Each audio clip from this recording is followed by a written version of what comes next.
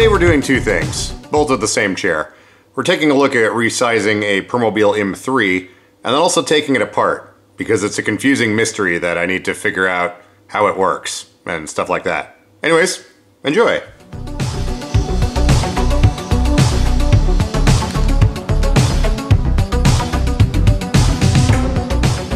Well, I got another chair.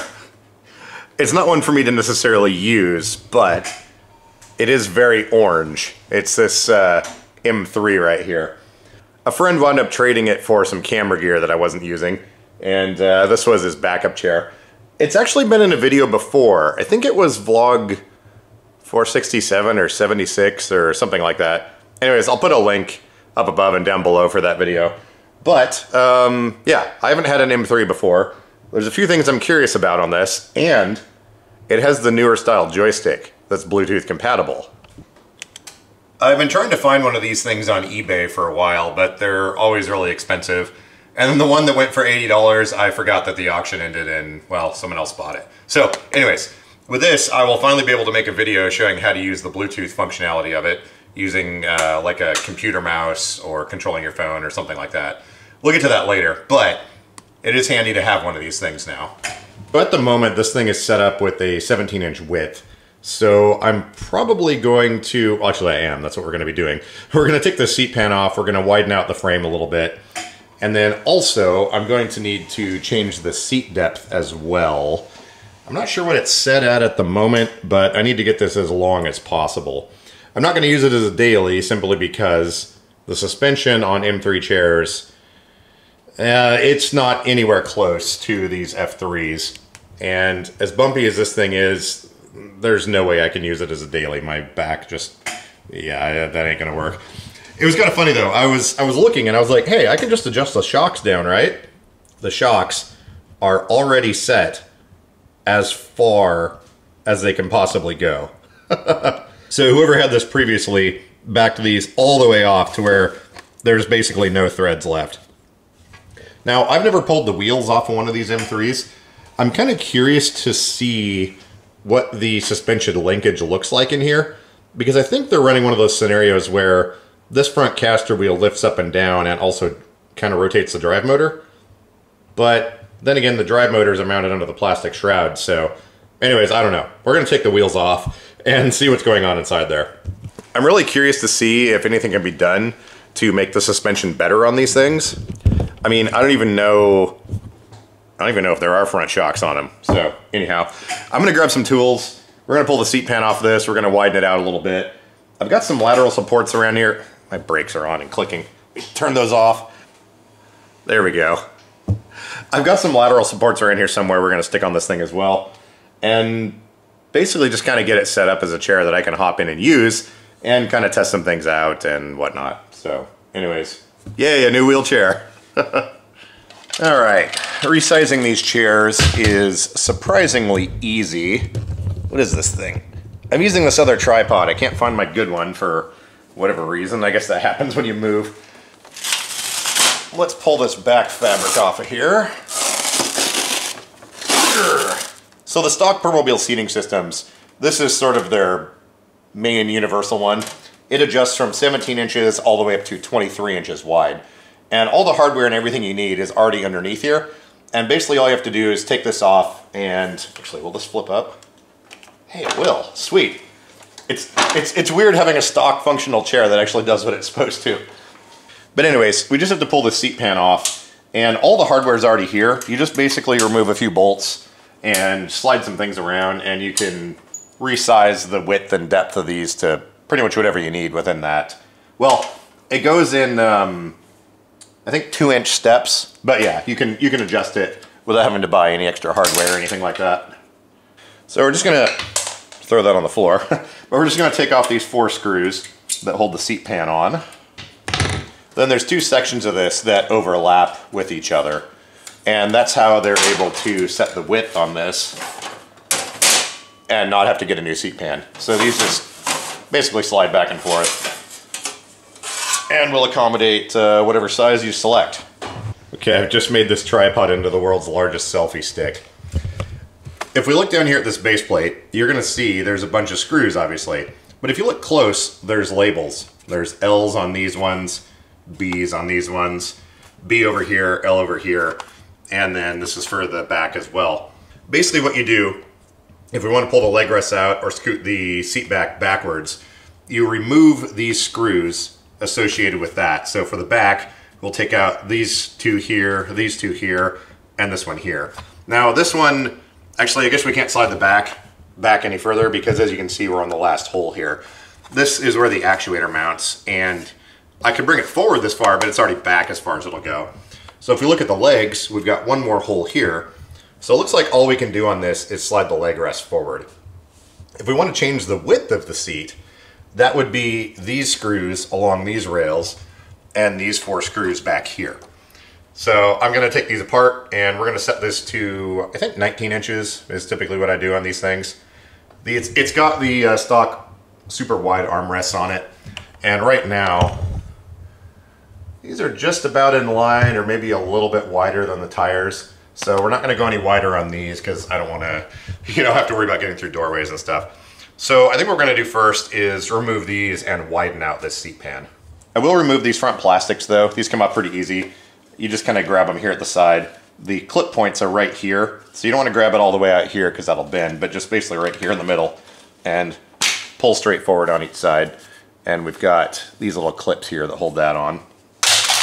These side pieces, you just basically grab them and pull them straight forward. And now we should be able to loosen up these. So for those of you that don't know, I've got a website set up. It's been linked below in a lot of the recent videos. It's brokenwheelchairs.com. I've got service manuals for all the Permobil stuff, some Invacare stuff, and I'm trying to work on Quantum service manuals. There's kind of some legalities with Quantum, trying to post anything that's built by Pride. But anyways, uh, it, all this stuff is, is covered in the service manuals. So I may not be showing exactly step by step how to do this, but if you need to do any seating resizing or anything like that, you can just go to the website, links below, and uh, download the appropriate service manual for your model of Permobil. I think I've got all of them in there at this point for all of the current chairs that are being sold and most of the ones from about the last 12 to 15 years or so.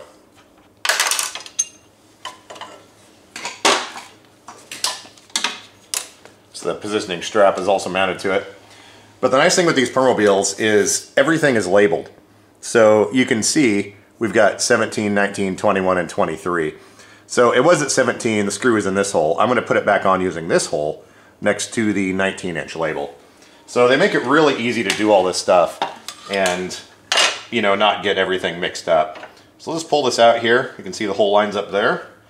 We'll drop this screw or bolt or whatever it is back in. That's the wrong one. And some of these are different lengths as well. I believe the inner ones are shorter.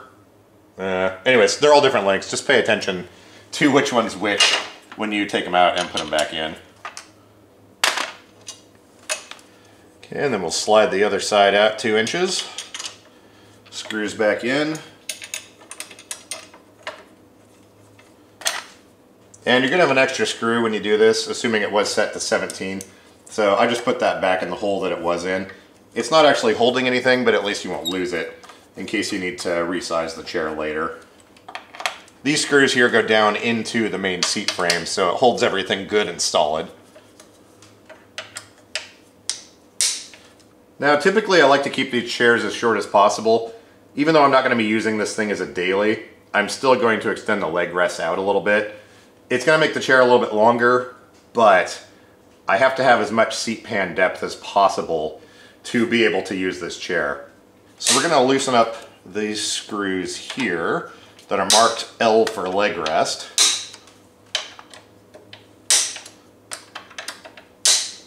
And there is one additional step when you're adjusting the backrest or, or the uh, leg rest. Basically changing this depth here, I'll show you that.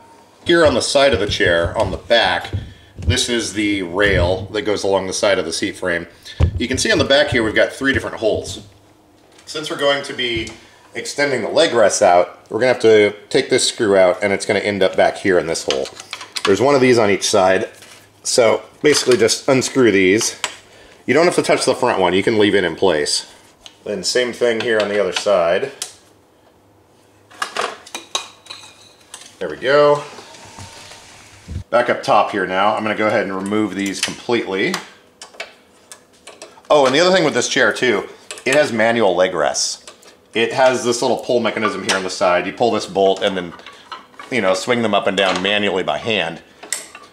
I'm going to show also, I don't know if it, it'll probably be a separate video, but I'm going to show how easy it is to swap this out for powered leg rests. Basically, all you need to do is buy the actuator, install it, and plug it in.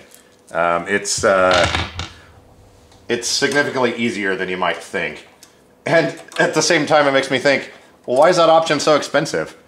All the hardware is already here. I mean, are you really paying like 2,500 bucks or whatever for an actuator? Anyways, at this point, we've got all the bolts out. All we have to do is grab the front of the seating, or the leg rest, and slide it forward. You wanted to keep an eye on all these wires and stuff here. There's plenty of slack, but depending on how stuff was routed, you just want to kind of keep an eye on it. But we're just basically going to slide it forward like that. And when you look down through these holes, you can see that there's, well, the thread holes line up. And all we do is put everything back in now. Do not tighten them up all the way at this point. Since all this is kind of loose, you want to get all the screws in by hand before you go tightening them down. Because see, like this one here doesn't quite line up. I have to sort of wiggle it a little bit, and now it'll go in the uh, into the threads. So just get them all started. And then I like to go around to the back and get the rear two tightened down first.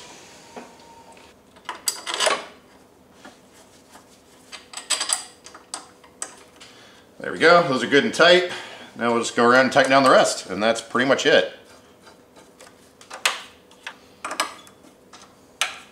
I like to check the rest of the bolts while I'm here just because you never know who's been in here. And it's good to make sure everything's tight. And there we go. We're ready to put our seat pan back on. We've widened it out uh, two inches and lengthened it one inch.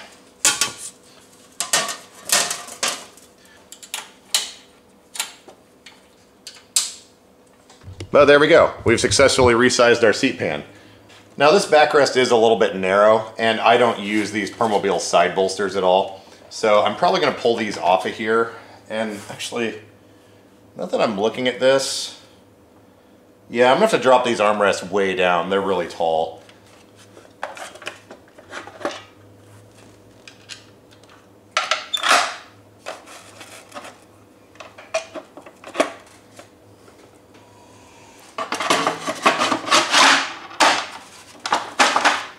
At this point, I'm going to take a break because um, dysreflexia.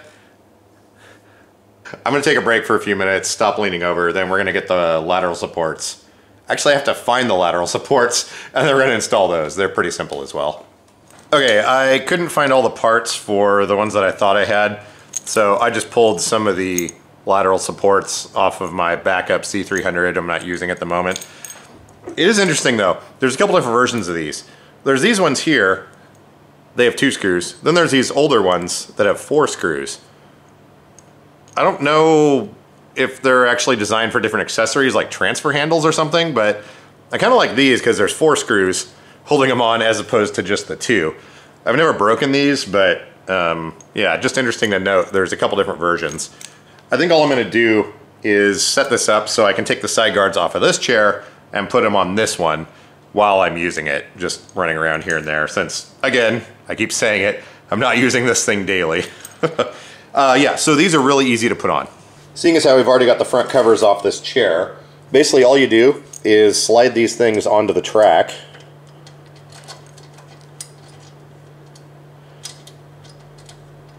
Like so. Then you position this wherever you need it, tighten down all four screws, and you're good to go. And then for the other side, same deal just basically slide these in here.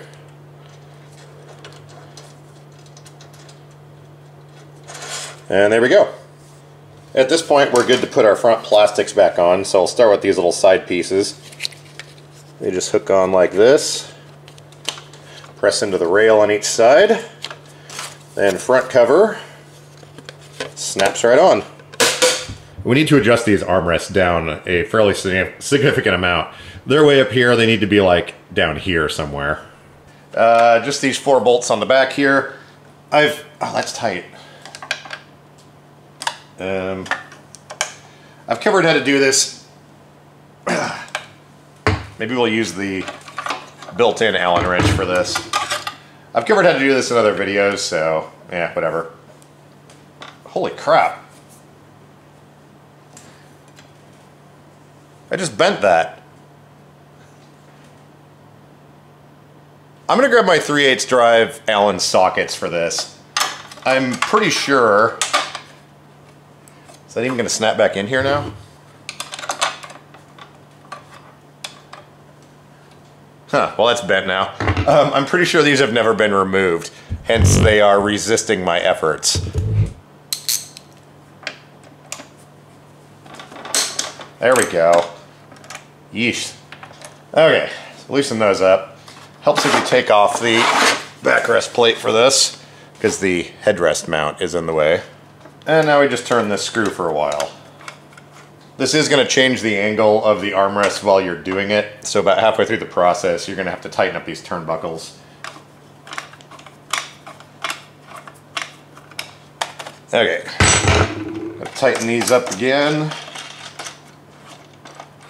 So now we can tighten these back down. I don't know if you're going to see on camera, but yeah, see how I push down on one and the other one lifts up? Kind of like that. The joystick side is heavier, so I push it all the way down and figure out what the maximum is, let it go all the way up, and then I hold it somewhere in the middle as I tighten these back up.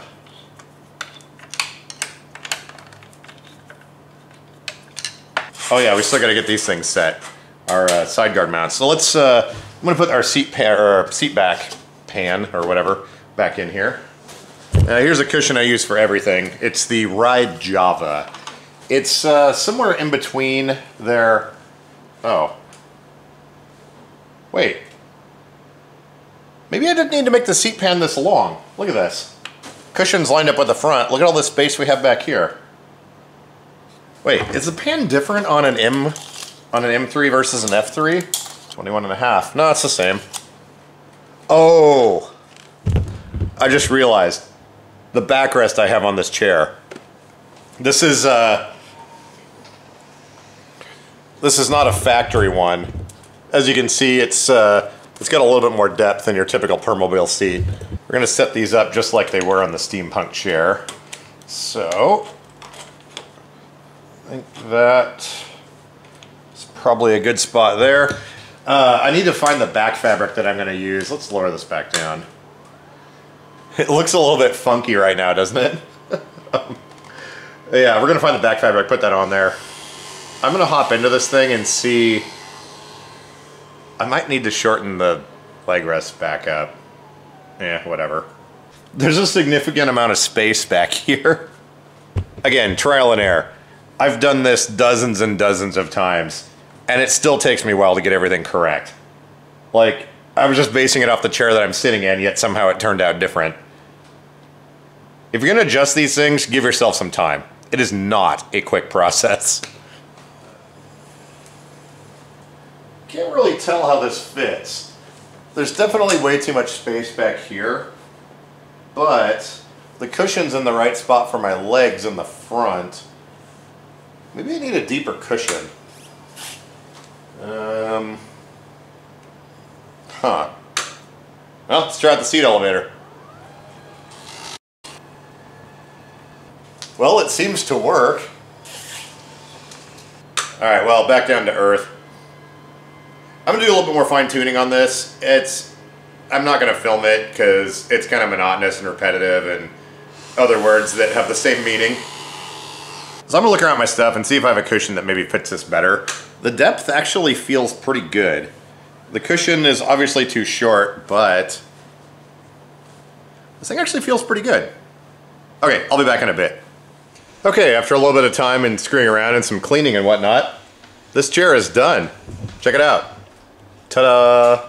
So we got the lateral supports or the side guards put on here. Got the cushion on. We widened out the seat pan, lengthened the seat pan. Um, I didn't adjust the height on the backrest. That seemed fine enough. Got the armrest lowered down and the angle set properly. Got the leg rests all adjusted and cleaned as well. And the little pads here, one of them was bent. So I was able to take apart that bracket and get that taken care of. And yeah, I think we're good to go.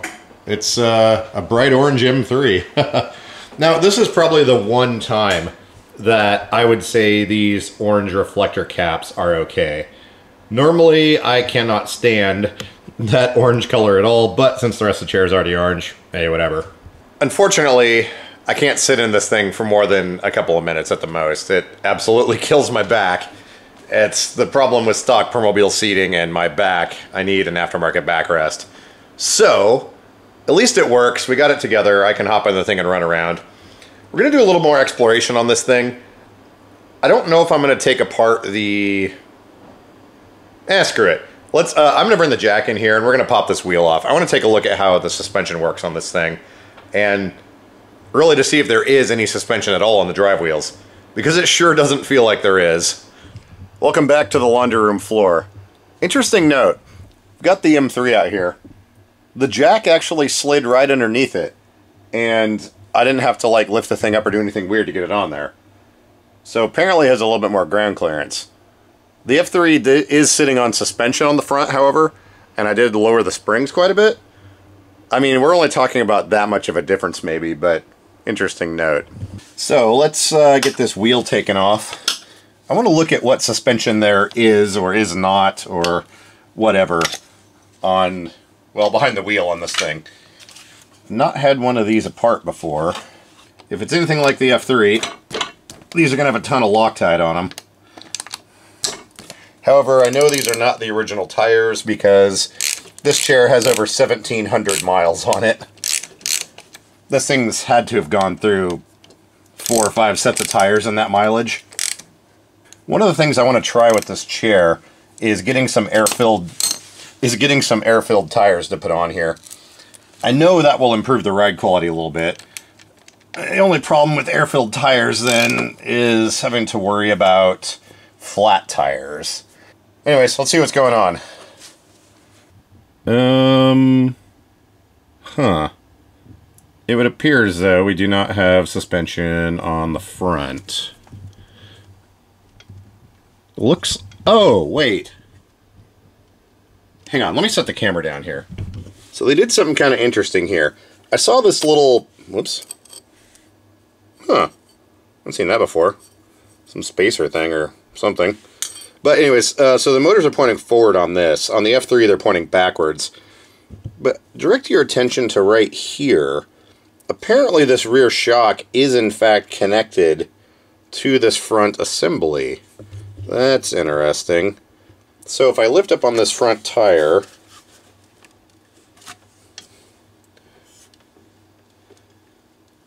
But it looks like what we've got going on here. We've got a pivot, which is mounted to a plate, and that plate has the motor mounted to it. Then we've got the shock absorber here, which connects to the rear caster wheel. And then there's a tab that comes off of the pivot for the rear caster arm that connects to this little damper here, little rubber thing, and that connects to the back of the plate the motor's on. So I guess it kind of has suspension, but the problem is when you hit a bump, I mean, this tire is going to go up when you hit a bump, which in a roundabout way compresses that shock. But when your drive tire hits the bump, your rear suspension is maxed out, or the rear shock is maxed out. So you can see here how the motor assembly is separate from the center frame. See how that's kind of moving up and down? So I guess they do technically have suspension, but not in the way I was thinking. And it makes sense because when you hit a bump with this thing, you're sitting right over the drive tire. I'm just thinking and looking here. I guess in theory, someone could maybe replace this with a shock absorber. I don't know if there's ones that short. We'd probably have to extend this down to about here, which would... I mean, there's maybe an inch for ground clearance there, but... I suppose this little thing could be replaced. Let's look at this weird little rubber thing a little bit closer as I move the chair. Well, I guess it does technically have suspension on all the wheels, kind of.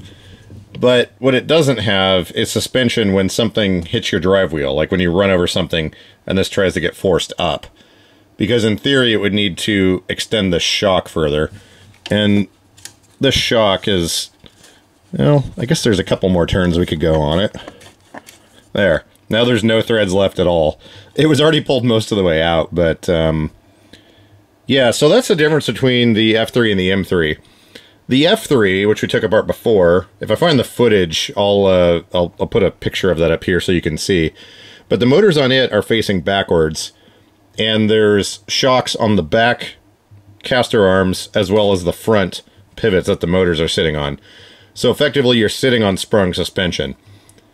This, you're kind of not really sitting on anything other than this little damper right here, which isn't going to provide a lot of shock absorption. So, technically, yes, it has suspension on all the wheels. But is it any good? In my opinion, no. If you need something that rides good, get yourself an F3. The M3 is completely different. So I think well, I know. Getting air-filled tires for this... Oh, these are already getting bold. Um, air-filled tires for this would make a huge difference. Just on the drive tires. Uh, I'm going to grab the tape measure and actually take photos of this. I forgot to do that on the F3. But I'm going to get some photos of this and see if there's some sort of parts or something I could source maybe. I feel like this could be fixable. I think it would make the chair sit with the front up a little bit further if we did put a shock right there. So yeah, I don't know. It's, uh... This is interesting. But it makes total sense as to why the ride the ride quality is so different on these two. Well, there you go, I guess. If you want a mid-wheel drive chair and I mean, you technically want suspension. Now, again, this this is just me. I'm a pretty special use case when it comes to having to have really good suspension on my chair. This would be fine for most of the people out there, I think. But in my case, the F3 totally takes the cake. Um, there, there is no comparison at all to this ride quality. These shocks were already pretty much maxed out. I turned this one, yeah, we, we've got that thing turned down as far as it'll go. And it's definitely beyond the spec of what you're supposed to set it at. Anyways, yeah, um, air-filled tires. I think that's going to be the only thing we can do here. Huh. Alright, well, I'm going to put this back together.